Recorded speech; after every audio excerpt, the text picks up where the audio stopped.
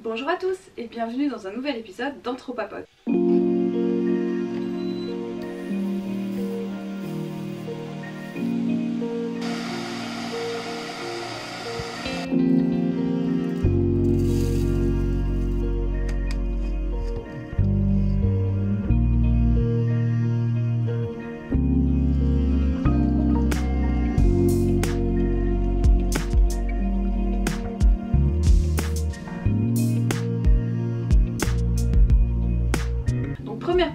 Comme je l'ai annoncé, c'est la partie profilée.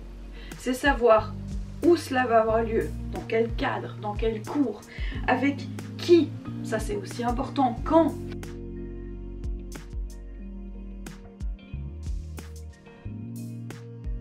En premier lieu, il y a partie profilée.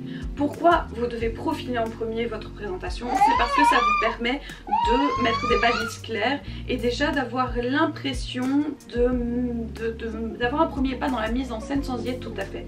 Profiler, c'est comprendre les enjeux autour de votre présentation de recherche où celle-ci va avoir lieu. Est-ce que c'est une présentation devant tous les étudiants, juste les professeurs, dans le cadre d'un oral, dans le cadre d'une défense de mémoire? Vous devez savoir ce genre de choses. Est-ce que ça se passe dans le bureau du professeur ou dans, euh, dans un amphithéâtre avec un écran par exemple? Ça se passe depuis chez vous et donc à quoi vous devez être euh, attentif dans la mise en scène personnelle que vous allez euh, avoir à, gérer avant de rentrer dans la mise en scène du travail lui-même?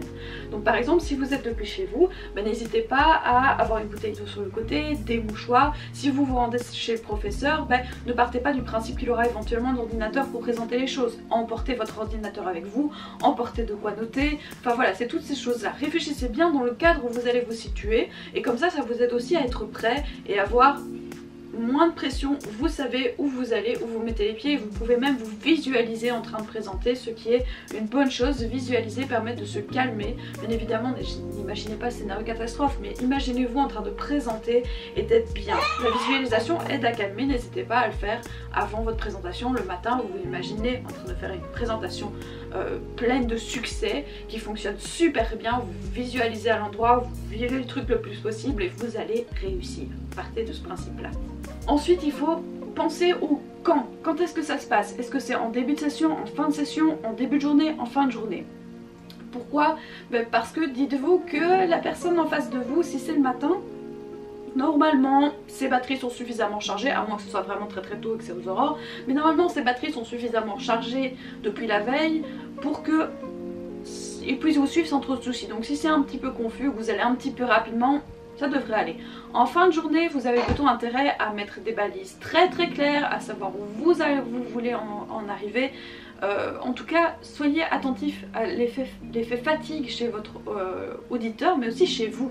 C'est-à-dire que si vous avez une session d'examen terrible et que vous finissez par votre présentation de recherche après 5 jours d'enfer, bah bien évidemment, préparez-la bien à l'avance, qu'elle devienne naturelle, que vous ne deviez pas revenir une dernière fois dessus, que vous ayez déjà oublié, revenez de temps en temps dessus de manière calme, comme ça, bah en fait, même s'il y a fatigue, ce sera tellement naturel, vous la connaîtrez tellement bien qu'au final, roulera. Donc profiler la fatigue chez vous et chez les autres, c'est plus intéressant effectivement d'être euh, très très euh, très clair et très focus et à bien rappeler les éléments clés quand on est en fin de journée et que potentiellement on est plus fatigué. Également quand c'est en fin de session, n'oubliez pas qu'on a vu plein d'étudiants et donc la petite touche d'originalité où éventuellement euh, vous avez pensé à apporter des feuilles, euh, des, feuilles euh, de, de, votre présentation pour qu'on puisse annoter en face par exemple. Ça c'est quelque chose que j'avais fait pour mon mémoire et ça avait été très apprécié. J'avais mon PowerPoint mais j'avais mis des feuilles avec les miniatures, de quoi écrire sur le côté, des feuilles de brouillon. Euh, éventuellement prévoyez même un crayon, sait-on jamais. Soyez en fait euh, prévenant vis-à-vis des personnes que vous allez convoquer pour votre présentation de résultats. Si par exemple c'est devant un amphithéâtre, ben, n'hésitez pas à vous présenter, avoir un petit mot de j'espère que tout se passe bien. En final, ben, que la session se passe au mieux. Montrez qu'en fait vous êtes conscient des personnes qui passent du temps à, vous, écouter. C'est toujours très apprécié et ces petites touches d'attention ben, font du bien, surtout en fin de session quand on n'en peut plus ou même juste avant la session et où c'est le dernier rush, où on a plein de choses à penser et en fait voilà, soyez prévenants. Imaginez-vous à votre place, qu'est-ce que vous aimeriez qu'on on fasse pour que ça, ça passe mieux pour vous. Ça c'est conseil, c'est dans tout, mettez-vous à la place des gens et imaginez comment ils vont faire.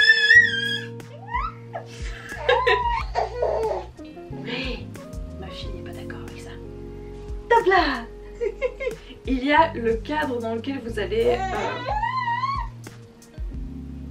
Apparemment elle ne, veut pas, elle ne veut pas me laisser présenter. Ayez conscience du cadre dans lequel vous allez euh, intervenir. Par exemple, si c'est un séminaire où il y a 30, 40, 100, 200 étudiants, ben là soyez très attentifs sur le fait de bien replacer tous les éléments et de bien rappeler dans quel cadre c'était fait, où vous situez. Attention, prenez pas non plus vos examinateurs comme s'ils avaient oublié toutes les consignes. Ça, c'est la magie du travail à domicile. Récapitulez bien euh, récapitulez bien en fait votre terrain, les éléments clés pour qu'on puisse vous comprendre. Donc faites bien attention parce que même si on a lu éventuellement des fiches tout au long de l'année, on ne sait pas toujours forcément tout replacer parce qu'en plus avec la fatigue je peux vous dire que rapidement même si on essaye par tous les moyens de se souvenir qui est qui, parfois c'est pas toujours évident, le fait de raccrocher les choses et de les remettre dans leur contexte, ça monte à la fois votre capacité de clarté mais également le fait que vous avez pensé à bien vous replacer, comme ça on n'a pas à remplir les blancs. Et en fait on est tellement occupé à essayer de remplir les blancs qu'on n'arrive même pas à, vous, suivre ce que vous êtes en train de dire. Ça ça m'est déjà arrivé de louper une partie de la présentation parce que simplement j'étais ok mais où il se situe et je devais chercher dans mon ordinateur. Il n'y a rien de pire que ça. À côté de ça, un autre type de cadre qui est aussi et qui vous montre la différence en fait et qui c'est pas un élément futile que de penser au cadre. Le cadre, c'est par exemple également euh, très important quand vous allez traiter euh, de votre mémoire. Par exemple, le mémoire, ben, votre lecteur et votre promoteur l'ont lu en long et en large et savent exactement ce qu'il y a dedans. Alors oui, peut-être faudra leur rappeler un petit peu parce qu'ils en ont lu plusieurs et que voilà, il y a une session d'examen de quelques jours entre ce qu'ils ont lu et votre présentation. Mais en tout cas, normalement, ils l'ont lu avec une telle finesse qu'ils savent exactement ce que vous avez euh, décidé et ce que vous avez mis dedans. Là, il faudra de ce fait-là être un petit peu, euh, on pourrait dire rusé. C'est-à-dire vous allez représenter vos données, vous allez représenter votre sujet de mémoire mais sous un angle neuf, avec que ce soit une approche intéressante, que ce soit des photos, que ce soit... Ne mettez pas trop d'inédits, mais par contre mettez suffisamment une approche différente pour qu'on ait l'impression de redécouvrir ce que vous allez dire. Et ça, ça, ça marche du tonnerre, ça fonctionne super bien. Donc en fonction de si c'est un cours où vous avez un accompagnement très souvent et où il va y avoir une lecture de très haut niveau. Là, bien évidemment, proposez-nous quelque chose de neuf. Mais si vous êtes dans une présentation de résultats qui n'a pas été vue avant, je pense notamment vous avez des fiches intermédiaires, mais il n'y a pas eu une présentation de votre argumentaire, là, c'est important de faire étape par étape, de bien tout récapituler et de bien tout montrer. Bon, je crois que ma petite là...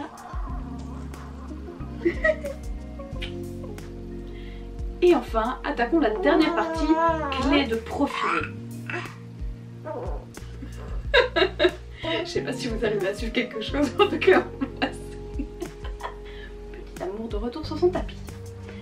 Et enfin, dans la partie profilée, ce qui va vraiment être hyper intéressant pour vous d'avoir à l'esprit, c'est peut-être même le plus important, c'est le qui à qui vous vous adressez. Est-ce que c'est un public qui ne sait rien du tout? Par exemple, il y a un invité qui est là pour vous examiner ou euh, ben, vous avez affaire à un jury ou vous avez affaire à euh, votre professeur qui vous a suivi tout au long euh, de votre parcours. En fonction du qui, les stratégies vont être très différentes. C'est-à-dire que si c'est quelqu'un qui vous connaît bien, et qui, avec qui vous avez beaucoup travaillé, ben, somme toute, euh, vous, vous, savez à qui vous avez affaire, quelles sont ses, on pourrait dire, ses préférences, vous savez en fonction de quel... Ça, arrive souvent, on va plutôt citer certaines personnes, on va plutôt dire, ah ben moi je travaille plus comme ça, et donc en fait le professeur, en fait, il donne toute une série d'éléments qui vous permettent de savoir à quoi il va être éventuellement plus réceptif, euh, à, voir à, voir comment il réagit par rapport au, PowerPoint, à voir comment il réagit par rapport à certains éléments, les anecdotes, etc. Essayez de vous imaginer face à lui et de vous dire mon but c'est de l'intéresser et de faire qu'il n'ait pas envie de lire ses mails, qu'il n'ait pas envie de se dire oh vivement que ce soit terminé. Non non non, l'idée est vous vous adressez à lui et c'est à lui que vous devez tenir, enfin vous devez tenir en compte à la, la personne à qui la personne qui est en face de vous. Si c'est un jury, faites bien attention. Là, il y a des règles de base. Bonjour en regardant bien tout le monde. Euh, si vous êtes timide, regardez juste au-dessus des, personnes. Regardez là.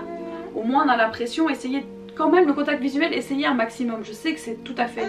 C'est parfois terrifiant, mais faites-le.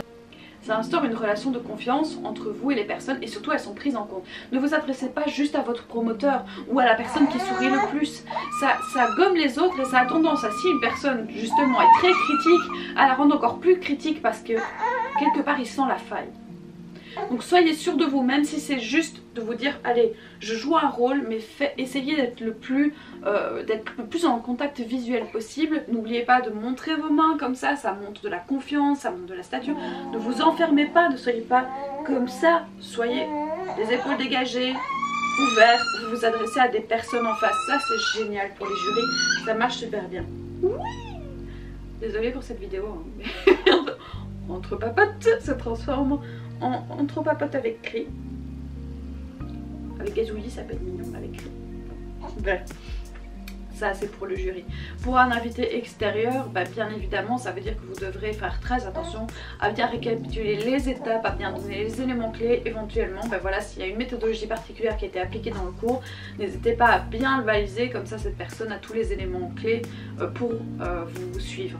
Et ça, c'est vraiment peu importe le qui, ce soit un jury, une personne, un invité, gardez toujours à l'esprit que votre but, et ça ça fait une très bonne présentation, et je vais finir là-dessus, une bonne présentation de recherche, ça prend la personne qui vous écoute par la main.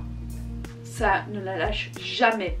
Passez par toutes les étapes, vous expliquez tout, vous prenez en considération le fait que votre but à travers votre présentation de recherche, c'est d'emmener une personne qui ne sait rien ou très peu de votre sujet ou qui va partir du principe qu'il ne sait rien de votre sujet jusqu'à la compréhension de ce sujet.